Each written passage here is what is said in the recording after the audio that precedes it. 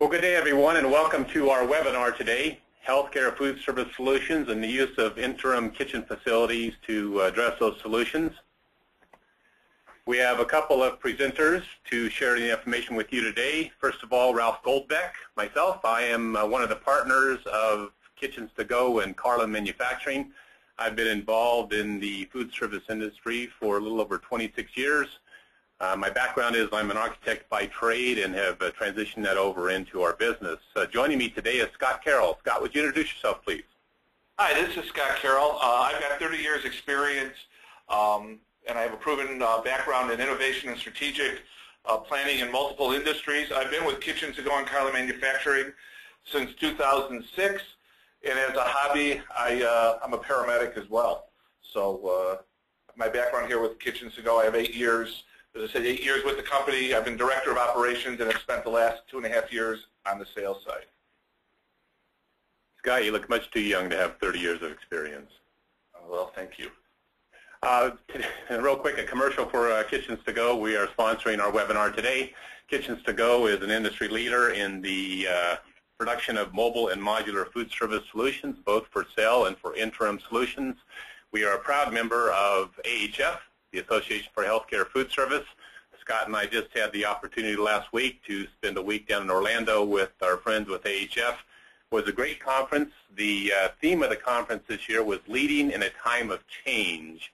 And with the Affordable Care Act uh, affecting, of course, healthcare, uh, the food service folks definitely are having to lead in a time of change. They're being asked to do more with less, and it's a challenge for everyone. So great conversation always nice to catch up with our industry friends and, and see what they're up to.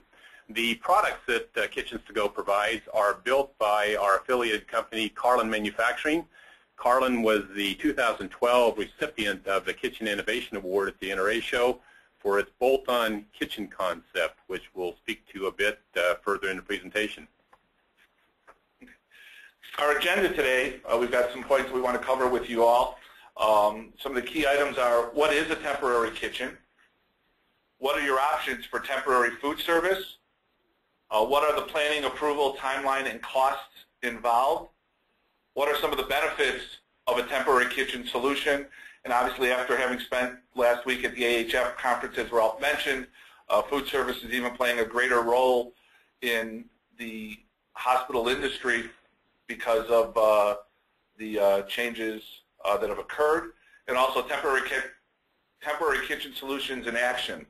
Uh, at the end, we will have a question and answer period, and if you can, if uh, there is an area where you can type in your questions, uh, that's the only way we'll be able to answer those for you. There isn't uh, two-way speak on this conference. So if you can type in any of your questions, Ralph and I will be happy to address all your questions at the end of the conference.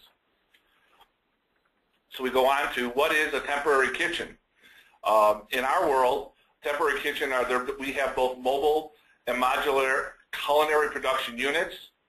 Um, they are utilized to replace or supplement existing facilities during a time of closure, renovation, or disaster recovery, um, and they're scalable. Uh, we can make them uh, very small. We have everything in our fleet from a little 8 by 20 bumper pull trailer that's like a U-Haul, all the way up to complexes that we've done as large as 36,000 square feet for 18 months. That was not in healthcare.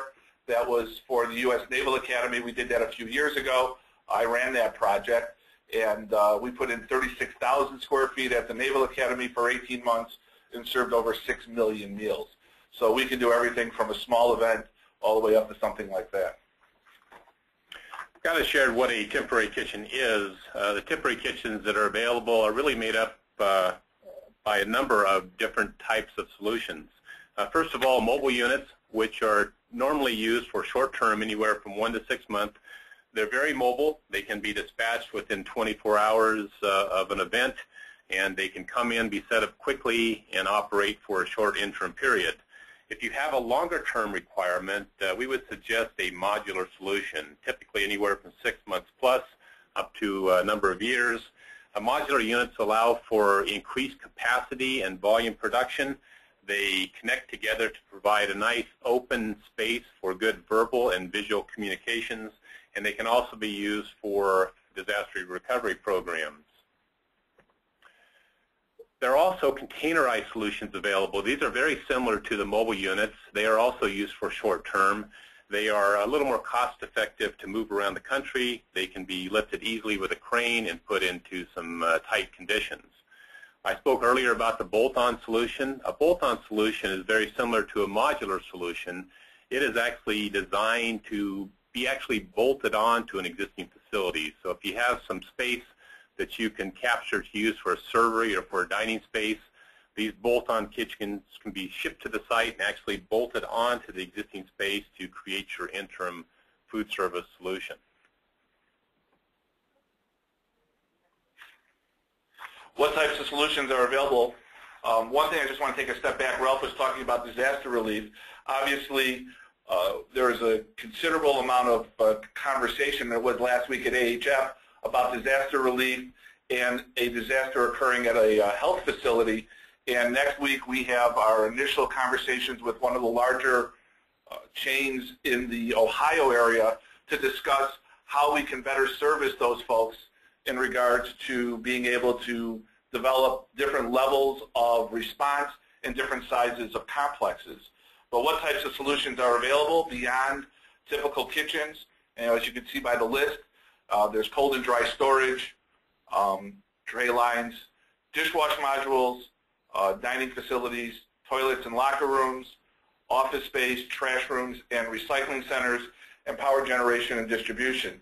There's a project that we are in the process of installing. It happens to be a permanent project for a mental health facility out on the south suburbs of Chicago, which is taking into account just about everything on that list except for the power generation and distribution. So we have the ability to service all aspects of your needs. So now that we've uh, talked about what a temporary kitchen is and what type of solutions are available, we'll take some time to look into the actual facts, uh, the planning, the preparation, and probably most importantly, the investment, uh, what these solutions will cost. Okay. The facts in regards to planning, um, you need to initiate planning process as early as possible, and we can't emphasize that enough. Uh, many times projects come up and they have a very, very short lead time, and we are capable of meeting all of those.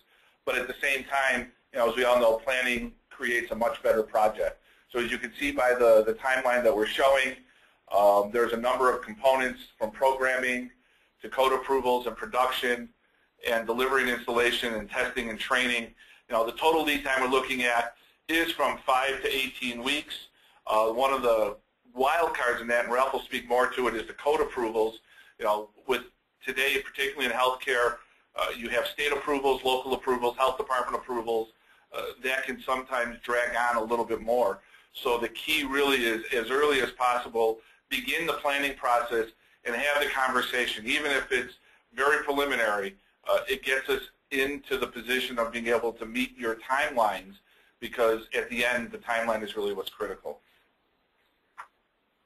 As Scott shared, the, the code approval process is a key component to the schedule, and it can vary greatly based upon the uh, levels of approvals that you have to go through. The entire process is very similar to what you would experience in the uh, build out of a new facility on your campus, on your hospital site, but it's for an interim solution. You still need to go through your local health department, environmental health department, and your state, county, and or city building departments to secure approval. Uh, we provide a complete set of engineered drawings. We have architects and engineers on staff that will provide the necessary documents to hand off to your professional team to carry through the approval process. Then once uh, your permits are secured, then the, the gear is moved on to site and the interim uh, kitchen program then begins. What does this cost? I mean, that's bottom line you know, the first question everybody wants to ask, they, you get on the phone with somebody, they're going, I know I haven't told you too much about what my project's all about, but I need to know how much this is going to cost. So there, here, these are just some budgetary numbers to look at. That's if you were to rent each individual unit unto itself. When we put together complexes for people, we end up with more of a blended price because you, you know, a typical project may be one cook unit, a prep unit with a tray line, you know, a dishwash module, and two or three coolers and freezers, possibly dining space. When you start putting it all together, you know, there are costs that can be saved because you are using larger space and it allows us to reduce the overall price. but this just kind of gives you a, a snapshot of what each one of those individual modules or components would cost. Beyond that, we also have one-time charges, which include the freight installation and removal. We separate those numbers because what we want you to understand is here's the cost that it's going to be one time, and here's the cost for the rent. You know, I know it has never happened on anybody's project that a construction job has gone long. If we were to include those numbers in with our monthly rent, you would be paying over and over again for the install and dismantle and transportation. So what we do is we break those numbers out so that you see what those numbers are. They are fixed numbers, and the rent will be what the rent is as we go forward. So. Scott, we've been tossing around the term temporary kitchen or interim kitchen through this presentation. It's really a key point. We have found that uh, it helps to possibly use the word interim in the presentation of this solution, especially to uh, the admin folks. Uh, these are not inexpensive complexes, but for a period of time, even though they're there on a temporary interim basis, they are your permanent kitchen. They will replace your existing production facilities and will have to meet the volume and quality production demands that your existing kitchen currently provides, and this will take its place for a period of time. So uh, very important to, to understand the value and the uh, requirements of the solutions being provided so that it can justify the budget that's required to put this in place. And, and Ralph, one other point, uh, as I've spoken to a number of people on the phone, uh, often I get the question, well, what happens if our project runs over and we have a three-month lease? Uh, be safe and comfortable to understand as long as somebody's paying their bill, uh, we will leave a complex on site for as long as it is needed and that has sometimes there, there's a, a, competition within the company, kind of tongue-in-cheek, where who who has the contract or the the project that has extended more than anybody else. I think actually Ralph currently owns the record at somewhere around 30-something months. But be that as it may, you know, you know, projects do run over. We do appreciate that, and we have never removed the complex from somebody from underneath them if their project isn't complete. So Scott, when does it make sense to uh, purchase as opposed to lease? Well, typically, that would happen at about an 18 month. We, we talk about 18 to 24 months is a break-even point for when somebody is taking a look at a project and saying, gee, should I rent this or should I lease it? Uh, the other pieces are, particularly in the picture we're looking at right now, is a sprung structure. This is University of South, South uh, University of Southern California, and uh, what they did was they actually purchased the sprung structure because they repurposed it into other uses for a significant period of time after the kitchens were removed. And in fact, they bought a couple of our modules because they had bathrooms in it to support the sprung structure. So it was there for a, a, significant period of time afterwards, at which point it was ultimately dismantled and sold off. Um, also, disaster preparedness applications. Uh, we've done some projects with the Federal Bureau of Prisons where they've actually bought units. They use them for renovation if they're renovating one of their prisons, but at the same time, they have them on site in case there is a disaster. This happened particularly after Katrina, and then as Ralph spoke earlier about the bolt-on program. Another key component of the price of a complex has to do with utilities and the extension of utilities to the site that's chosen for the interim kitchen program. Uh, these kitchen complexes require roughly the same amount of utility that your existing kitchen would use, whether it's electrical, gas, water, and uh, waste generation. So it's important to plan and to get out on site and find out where those utilities are going to come from and how far they will have to be extended. Of course, the longer the extension, the higher the cost to do so. In some cases, we've shifted over from natural gas to propane to allow for a propane tank to be dropped near the temporary kitchen facility. Another key component of the cost structure has to do with equipment. These uh, kitchens use commercial grade food service equipment, of course, NSF and UL approved just like your permanent kitchen would. The exhaust hoods have certified fire suppression systems and tempered makeup air. Uh, in some cases, we can utilize some of your existing equipment. For instance, in healthcare food service, you will normally have a tray line in your facility. If you have an existing tray line that your staff is familiar with, we can relocate that and put it into the interim facility. Or if you're looking to purchase a new tray line for your new facility, we can uh, take delivery of that early put it in place and get your staff trained and up to speed before the new facility is completed. So a number of uh, flexible, uh, creative ways to address the cost of equipment and to address the overall budget. All right, Ralph. So we've talked about all the different options they have. We've talked about purchase versus lease. Um, you know, we're talking about, we want to talk about weighing your options. So, so how do folks weigh their options? Well, when you have to shut down your um, main facility or you're looking at a renovation and it's going to happen in, in the same location that uh, uh, the construction is going to take place, what are your options? Well, probably the most common option is to phase the construction. And we've seen this happen uh, uh throughout the country, and we believe that it's really a more expensive solution. It can take two to three times longer uh, due to the phasing. In some cases, you actually have to cut through existing utilities to get to one part of the phase program to the other, which can create some challenges. It uh, draws out the construction process, and so you have additional costs from the general conditions. And most of all, it's just a uh, very disruptive process. Uh, we call it the visqueen effect. Uh, plastic is actually hung from the, the ceiling to close off parts of the kitchen that's under construction. There's a lot of noise. There's a lot of dust. And in the healthcare food service environment, air quality is very important, and uh, the hygiene of the, the workspace has to be maintained. So phase construction is a costly, uh, disruptive approach. One other option is to go to outsource catering, where you can actually bring in food from outside catering. Um, that could be an option for a commercial application, but when you're dealing with healthcare food service, you've got dietary requirements, you've got some security concerns, uh, not always an option to bring in outside food service.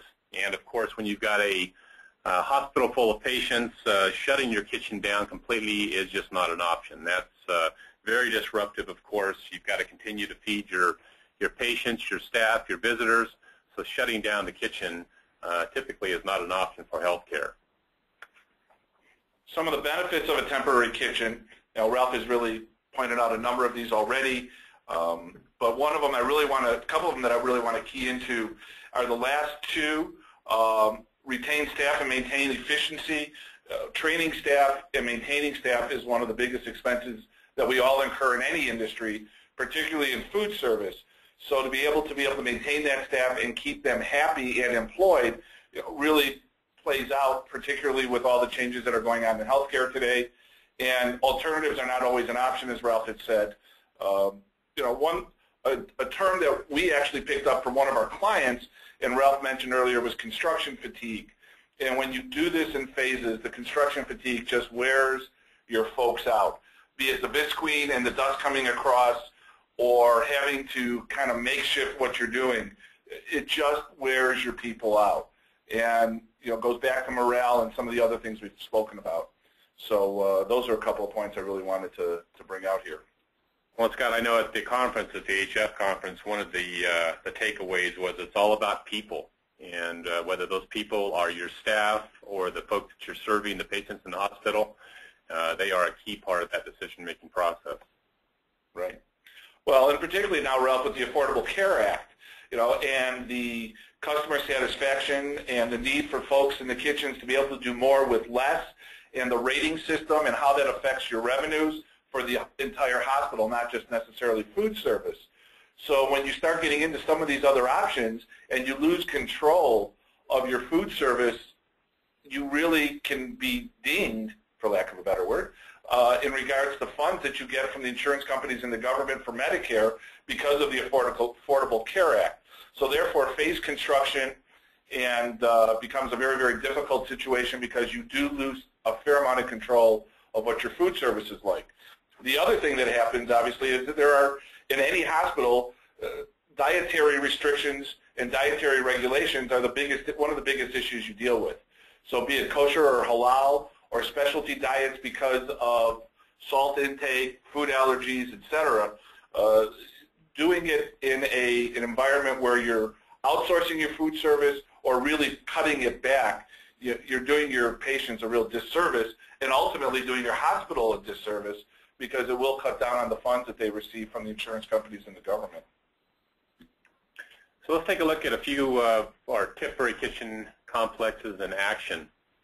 First project we'd like to share with you today is a uh, project that's actually still in operation back at uh, the Walter Reed uh, National Military Medical Center. And what they did is they had a consolidation of the old Walter Reed Army Hospital, which was starting to fall into disrepair. I think you probably saw a lot of uh, coverage on the news about the quality of care and, and services being provided. They have merged that together with the Naval Medical Center to create the National Military Medical Center. And quite a complex, uh, a huge patient load, of course, especially with the number of uh, servicemen and women coming back from the theater. So uh, part of this solution of the new facility is to have a new uh, food service facility that will take care of that increased patient load. As an interim solution, we have put in place a modular complex. You can see the uh, floor plan up on the screen, and you can see it's made up of a number of modules. In the back of the house, we have several production modules for the kitchen area, supported by some uh, wash capability and cold storage. There's a servery that's been built out into a couple of modular units, and then some uh, dining space. Uh, a large portion of this production actually gets uh, transported to the rooms in uh, food carts, and uh, this facility is also supported by a series of toilets for the, the, the customers in the servery area. Taking a shot at the outside, this is a, a, shot of the unit that was actually installed in a parking lot, and I was talking to somebody this morning and found out that we actually took over the Admiral's parking space to make room for this. So everybody had to sacrifice a little bit for this interim kitchen solution. But it's got a very high profile. This whole program was uh, permitted through NAVFAC, which is the uh, essentially the military building department. Uh, quite an extended process that we had to go through to get approvals, but it is in place. It was initially uh, put in for a 14-month program. As Scott mentioned earlier, sometimes these programs run long, especially with healthcare approvals, and so it's been extended out to about 16 months. But it's a nice facility. You can see a shot here of the installation, the extension of utilities out to the site, uh, running power and water and waste to the, the kitchens themselves and cold storage. And then a shot of the, uh, the interior of the servery area. One of the requirements was they wanted sort of a fast action uh, expedited grill area for the uh, the production of uh, sandwiches and some other um, items for the servery. So we put in a separate island hood. Just an idea of a little bit of the flexibility. These these units, even though they are an interim or temporary solution, can be configured, of course, to uh, to be comparable to any uh, fixed site-built facility. So just an option of what's available. Another one of the projects we wanted to highlight was uh, NYU, New York University Langone Medical Center. Uh, as many of you know, or some of you may not, uh, back during Superstorm Sandy, they were completely put out of business as a hospital because of the uh, stormwater that came in over uh, the East River. So all of their kitchen and all of their utilities were all located in the basement of the hospital, and they ended up with about 14 feet of water. So the kitchen was completely put out as well as the hospital was just taken down completely. So, but they still had a need to come back online as quickly as possible. Uh, as I said earlier, I'm a paramedic, and what happened was themselves and also Bellevue also went down. So what that created was a hole on the southeast corner of the island, and people were being transported across Manhattan. And if anybody's been to New York, transporting across Manhattan, even with the ability of an ambulance, uh, is difficult at best. So these two hospitals, and we work with NYU Langone, had to get their ERs, if nothing else, back up and running as quickly as possible because you had acute patients who were in need of services and they were being transported 20 and 30 minutes away because of traffic. So we were involved with NYU Langone. We got a call shortly thereafter from Betty Perez. Uh, Betty was referred to us by Dick Hines from Hobart. And again, those of you who know New York, there aren't parking lots like there were uh, for some of the other facilities. There's very little land. This is down on the far east side of town where, in fact, if you look off to the left, you really can't see it, but off to the left a half a block is the East River. What we found, or what they found working with us, is that there was a rooftop that was available to an old parking garage, and we ended up about 14, 15 feet above ground, above the street. We brought in a 350-ton crane and lifted our units in place and placed them up onto this roof facility so that they were able to get back up and running. And uh, we, from the time we received the call until they were ready for operation, was 28 days. So we were we responded quickly. We got kitchens there. Uh, we were ready before they were ready. Uh, they still had to do some state approvals and some other things, but we were able to get that kitchen up and running. Uh, what we did for them, and as you can see in the center of the picture, it's a little. It was a small kitchen. We really didn't have a lot of room to work with, considering it was Manhattan.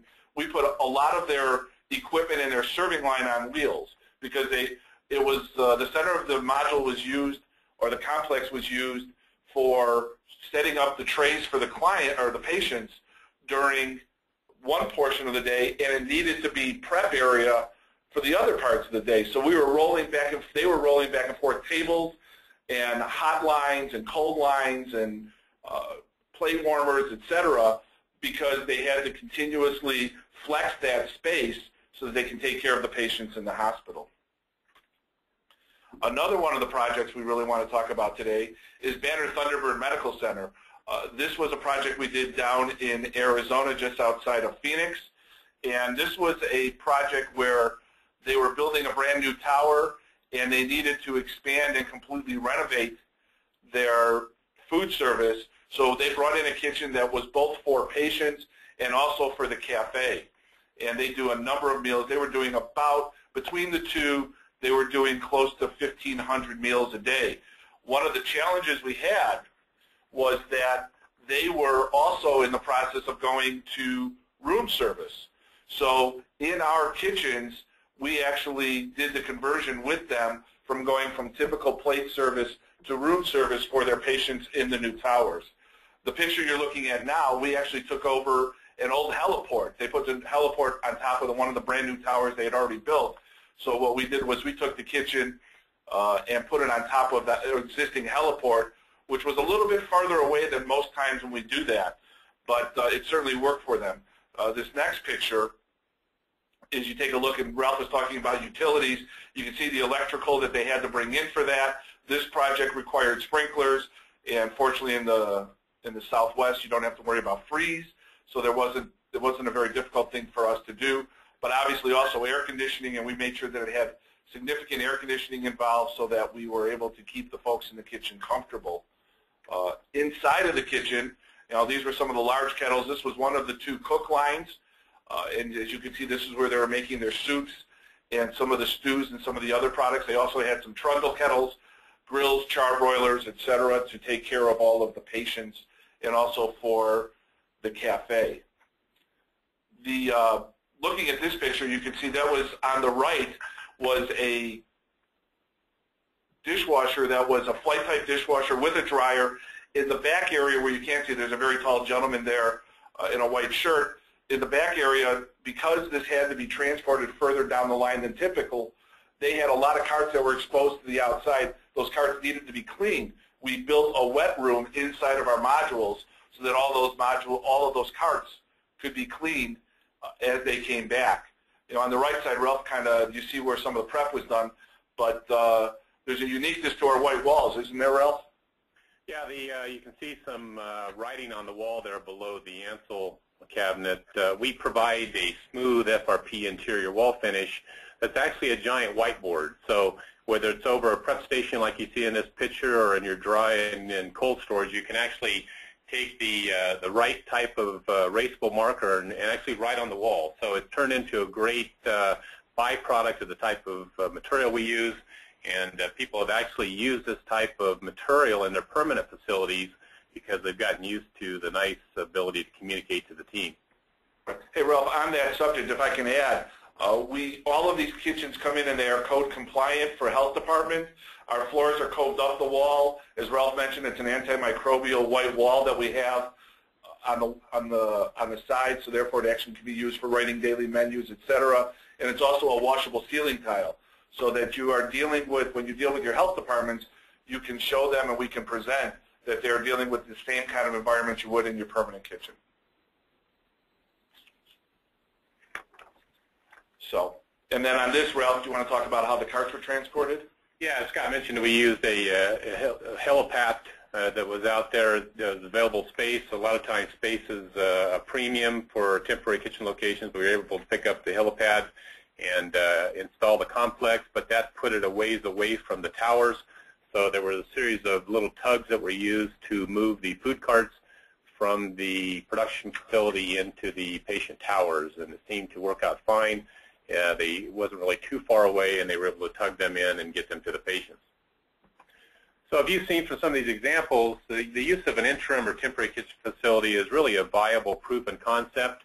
Uh, we believe it's a more cost-effective approach than phasing or bringing in outside food service, or, of course, we discussed uh, shutting down the kitchen is not an option.